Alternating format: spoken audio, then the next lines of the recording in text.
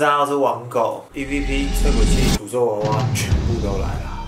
对，这三个就是我之前在易贝所买的东西。我今天呢，想要先来拍摄这个。嗯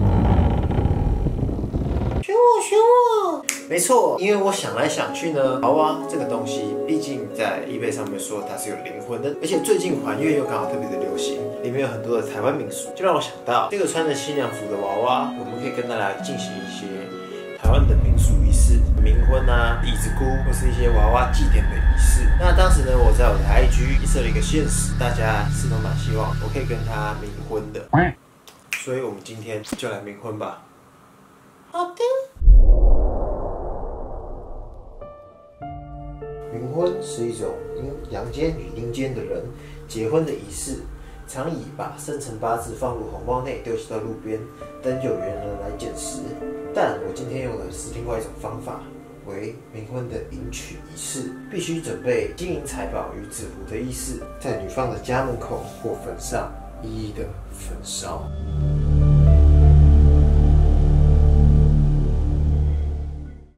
对，大家好，今天是我出嫁的大日子，至少还算是个美女啊。上网看了一下，订婚其实还差一个条件，就是我需要她生辰八字，但我联络过卖家了，什么都没有办法取得。那为什么会选择阳台呢？因为这里比较通风，而且我应该是全台湾第一个在阳台跟人家结婚的男子，很酷。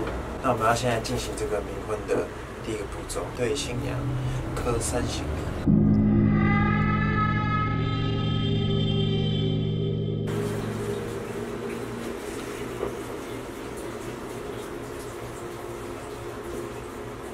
接着把纸钱烧给他，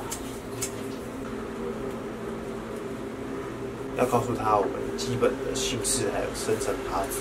我是王宇翔，八四年二月一号出生。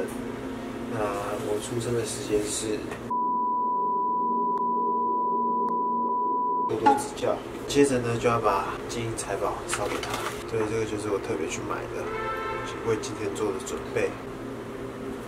OK。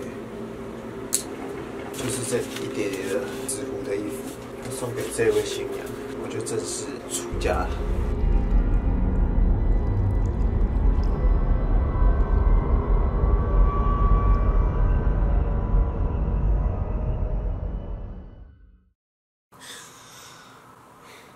的感觉呃很奇怪，我刚刚本来对琳达没有那么奇怪的感觉，我现在对她有一点点不知道很微妙微俏。